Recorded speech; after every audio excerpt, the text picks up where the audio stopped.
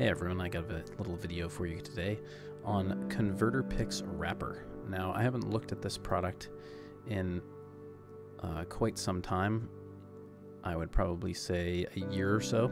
Uh, it was not as functional as I wished it would be when I came across it, although uh, Simon and uh, MWL, I forget his name, have really really pushed the uh, the envelope with this, um, and it's really going to help you out if you are doing uh, some quick edits to models. So I'm going to walk you through how to do a quick edit of a model. Here I'm showing you the web page where you can find it. It's on GitHub. You have to search is converter converter ConverterPix wrapper. Um, the all the instructions for installing it onto Blender is right here on the main page. It's very straightforward. It's all done in the new version of Blender as you should be using at this point. Um, and you also need SCS Blender tools, which he leaves the link to here. So I will leave that in the description below so you can follow those installation instructions. I also include the installation instructions for SCS Blender tools in my 1000 subscriber special. So go check that out if you have trouble um, with installing Blender tools as well. So let's get into it. There are a couple of features of this that makes the wrapper version of ConverterPix much easier. The reason why is because it imports directly the game's PMD PMG files instead of having to pre-convert them using ConverterPix. So this completely eliminates the um, issues of having uh, importing files and um, edit and changing them to what you need them to be in order to work with uh, Blender tools inside of Blender. So it's a much it's much simpler for you, the user, especially if you're just going in and doing some quick edits and not building something from scratch. The other way, building something from scratch is much more um, or much easier in the end because you really don't have to convert too much up front. However, I do want to mention to you if you do not have this set up already in Blender with Blender tools, you should really look into checking all of these items and you can see they're all available in the base files and you will have to change them per version. So um, you will need the SCS extractor, which also, again, I show how to use in my 1000 subscriber special. Um, you need the extractor, the SCS extractor to extract the base and the, def the definition files. And then once you do that, this is going to be a breeze, and I'll show you all that. Um, make sure you have have a look at this as well. Um, the shader presets are within the Blender Tools file as a text file. So you want to set that all up. All of this should be set up every time you're doing anything in this. So what we're going to do is we're going to going to edit a um, bumper for the 389. So if we go to SCS Models, ConverterPix, and BT, you'll notice that it sees SCS files. Um, I'm actually going to go in here and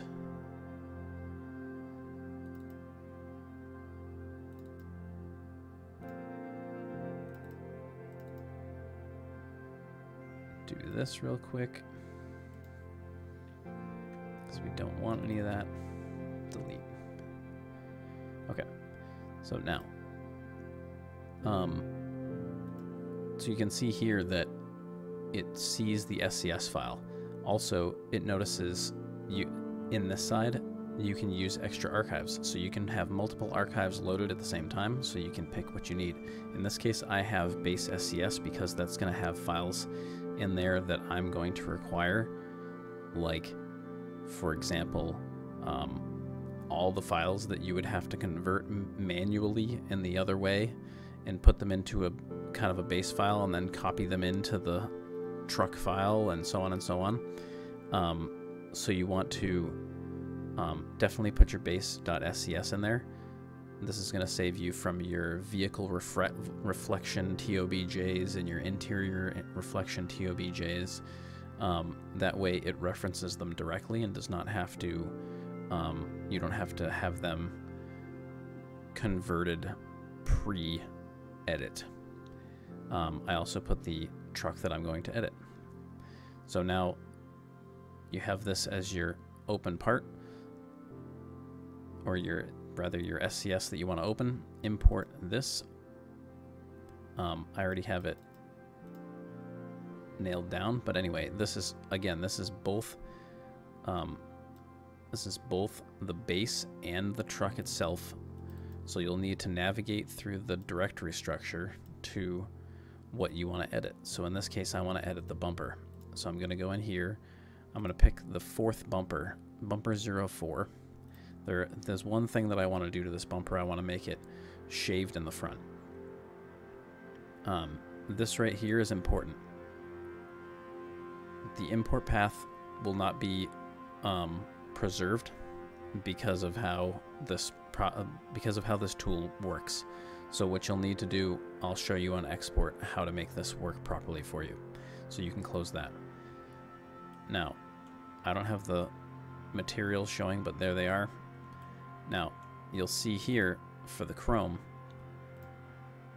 it has add NV, which means it uses down here the reflection, um, the vehicle underscore reflection TOBJ, which I did not uh, convert.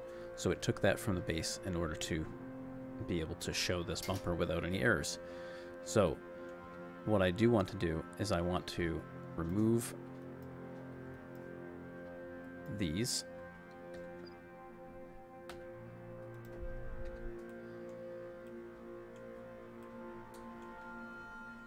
and um, so now it's a shaved look with just the lights at the bottom um, just to show you that it did change when we go to the game so um, at this point once you have done this part, you're going to have to go through the normal conversion tools on the exporting side. So we're going to have to go in here. So now you'll see that it put what I'm converting into this folder.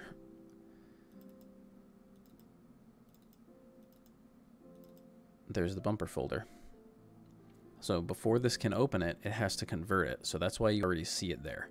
Now notice it's our it's a PIM file now. It's not a PMD or a PMG because this automatically converts it and open it opens it directly from an SCS. So you never have to touch the conversion part. So all you have to do now is select this, export the selection. Always want to make sure this is selected here, not the scene, the selection. So we select the bumper. Always important to select the root.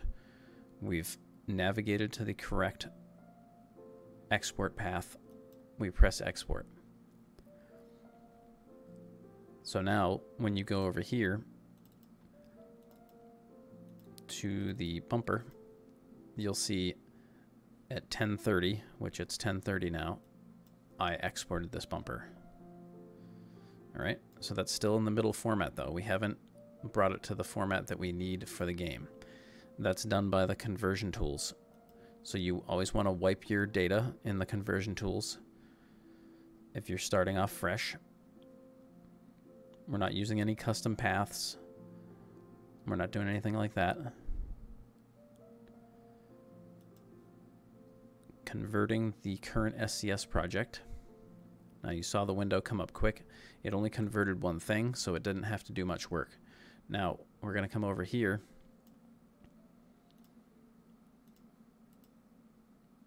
Um, actually, we can do this.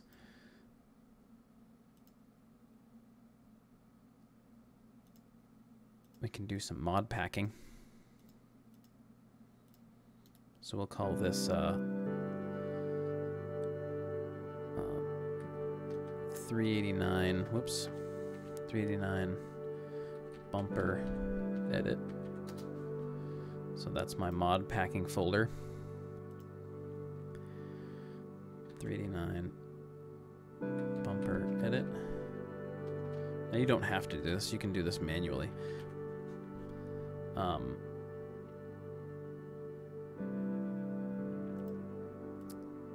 so zip uncompressed, although we could moderate zip, but either way. Um, and then pack.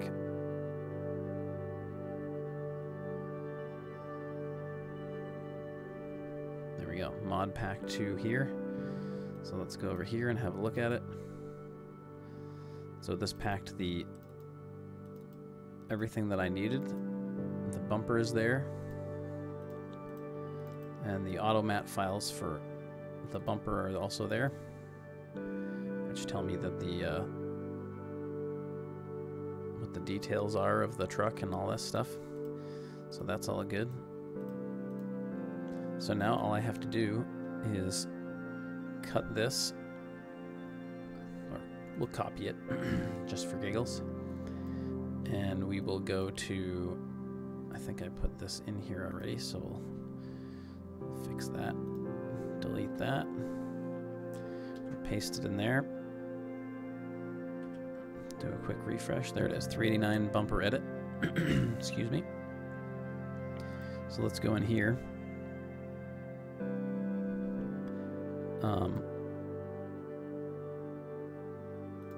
activate the mod, go to the bumper edit, make sure it's in the mods list. Doesn't have to be at the top, but it should be in there. Continue the game.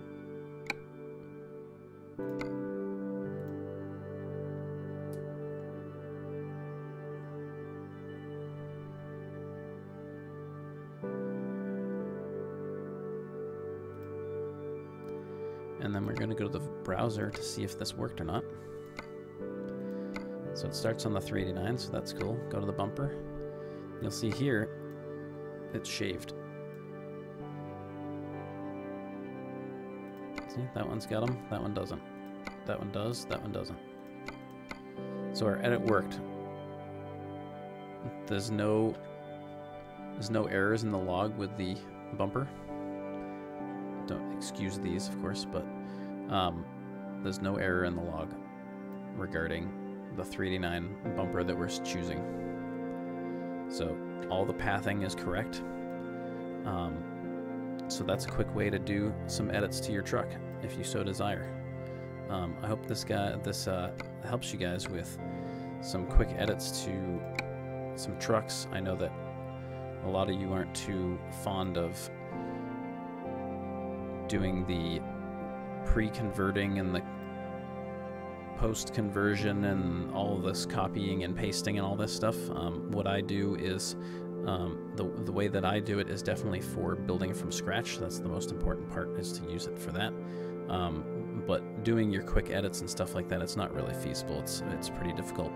This converter pix, pix wrapper definitely takes um, a huge, huge, huge amount of um, time and energy and weeding through errors and all kinds of other things. So um, I hope this uh, hope this helps you. If you have any questions about using it, let me know. Um, again, make sure, please, please make sure that you are setting all of these up. Um, this is extremely important for doing doing it this way. It has all the information that the game needs. Um, the shader presets, the, especially the shader presets and the material database. Um, that will help the game pull the information from the base file properly without any TOBJ errors and uh, texture errors. So um, let me know how you work out with this one, and uh, we'll see you for the next one. Thanks, guys. Have a good one.